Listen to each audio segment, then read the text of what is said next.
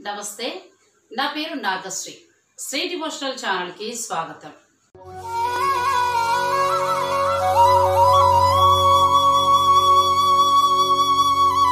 రేపు ఏకాదశి. ఏకాదశి తిథికి మనం ఎంతో ప్రాముఖ్యతనిస్తాం. ఏకాదశి తిథి అంటే ఆ శ్రీహరికి విష్ణుమూర్తికి ఎంతో ప్రీతికరమండి. మనం ఏకాదశి అంటే సాధారణంగా వైకుంఠ ఏకాదశి తొలి ఏకాదశిని ఎంతో విశేషంగా జరుపుకుంటాం. ఆ రోజున ఉపవాస నియమాలు పాటిస్తాం. తర్వాత విష్ణు ఆలయాలకు పెడతాం విష్ణు సహస్రనామాలు చదువుతాం. అయితే సంవత్సరంలో వచ్చే మొత్తం ఇరవై నాలుగు ఏకాదశులు కూడా మనం వ్రతంగా ఆచరిస్తే ఎన్నో మంచి ఫలితాల్ని పొందొచ్చండి. మనకి ప్రతి నెలలో రెండు ఏకాదశులు వస్తాయి. ఒకటి శుక్లపక్షంలో తర్వాత కృష్ణపక్షంలో. ఈ రెండు ఏకాదశుల్ని వ్రతంగా పెట్టుకుని నియమ నిష్టలతో ఆచరించినట్లయితే చాలా మంచి ఫలితాలు ఉంటాయి సకల పాపాలు తొలగిపోతాయి. గ్రహ దోషాలు ఆర్థిక కష్టాలు ఇవన్నీ కూడా తీరుతాయి. ఏకాదశి రోజున ఉపవాసం ఉండాలి. ఉపవాసం అంటే అర్థం ఏంటి భగవంతుడికి దగ్గరగా ఉండడం అనే అర్థం వస్తుంది. ఉపవాసం అంటే కఠిన ఉపవాసం ఉండలేము అని అనుకునే వారు ఏం చేయొచ్చు అంటే చక్కగా అల్పాహారం అంటే పళ్ళు తర్వాత పాలు పెరుగు సగ్గుబియ్యం జావ లాంటిది అలా తీసుకోవచ్చు. అంటే పళ్ళ రసాలు ఇలా ద్రవ రూపం తీసుకోవాలన్నమాట. తర్వాత ఏం చేయాలంటే మరునాడు ద్వాదశి రోజున ఖచ్చితంగా ఆ రోజు భోజనం చేయాలి. ద్వాదశి రోజున ఉదయాన్నే మీరు నిద్రలేచి విష్ణుమూర్తి యొక్క ఆరాధన చేసుకుని ఆవు నేతితోటి దీపాన్ని పెట్టుకుని తర్వాత విష్ణు సహస్రనామాన్ని పఠించి మీరు భోజనం చేయాల్సి ఉంటుంది. ఏవైతే పదార్థాలు వండుకుంటారో అవన్నీ కూడా విష్ణుమూర్తికి నివేదన చేశాకే మీరు తినాలి.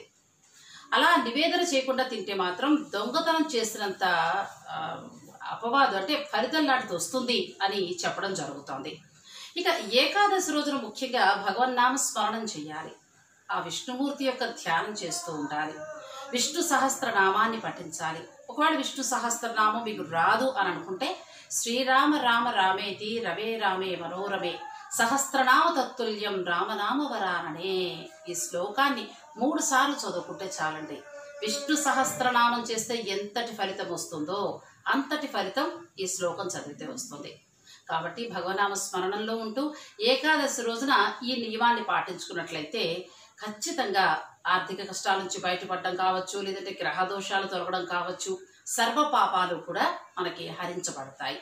అయితే ఉపవాసం ఎవరు ఉండకూడదు అని అంటే వృద్ధులు చిన్నపిల్లలు అనారోగ్యాలతో ఉన్నవారు తర్వాత ఉద్యోగ బాధ్యతల మీద బయటకు వెళుతున్నవారు ఇటువంటి వారికి కుదరదు. అంటే వాళ్ళు చేయలేరు కాబట్టి వారు ఉపవాసం చేయాల్సిన అవసరం లేదు. వారు కేవలం భగవనామ స్మరణం చేసుకుంటే సరిపోతుంది. ముఖ్యంగా గుర్తుపెట్టుకోవాల్సింది ఏంటంటే ఏకాదశి రోజున ఇల్లు చీపురుతో తుడవకూడదు. ఎందుకు అనంటే మన ఇంట్లో చీమలు వంటి చిన్న చిన్న సూక్ష్మ క్రిములు తిరుగుతూ ఉంటాయి. ఈ తుడవడం వలన అవి చనిపోయే అవకాశం ఉంటుంది. అంటే ఏకాదశి రోజున వాటికి హాని కలిగించకూడదు. చీపురుతో తొడవకుండా మెత్తటి బట్టతోటి మనం ఇల్లు తుడుచుకోవాల్సి ఉంటుంది. అంటే ఏకాదశి వ్రతంలో ఈ నియమాలన్నీ పాటించవలసి ఉంటుంది. ఇలా చేయడం వలన మనకి ఆరోగ్యపరంగా కూడా ఎందుకు బాగుంటుందంటే మనం నెలలో ఎన్నో తినేస్తూ ఉంటాం. స్వీట్లు కావచ్చు హాట్లు కావచ్చు నాన్ వెజ్ ఇలా రకరకాలు తినేస్తూ ఉంటాం. అయితే మన జీర్ణాశయానికి ఇబ్బందులు ఎన్నో వస్తాయి ఇలాగా మనం గ్యాప్ కూడా ఇవ్వకుండా తింటూ వెళ్ళిపోతాయి అందుకోసమే పెద్దలు ఏకాదశి రోజున ఉపవాసం ఉండాలనే నియమాన్ని పెట్టడం జరిగింది. ఆ రోజు ఉపవాసంలో ఏమవుతుంది? మన పొట్టంతా కూడా ఖాళీ అవుతుంది. జీర్ణక్రియ మళ్ళీ సక్రమంగా దారిలో పడుతుంది.